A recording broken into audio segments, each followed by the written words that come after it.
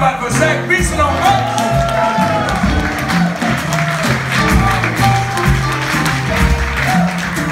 And of course, the maestro. When we come back, we're gonna do one of the songs that he wrote. And I have to admit, all three of these guys have some new material that we're starting to work out too, and it's, it's really awesome. But when we come back, we're gonna do at least one of the songs that was written by a pianist. How about it from Andrew Ouellette?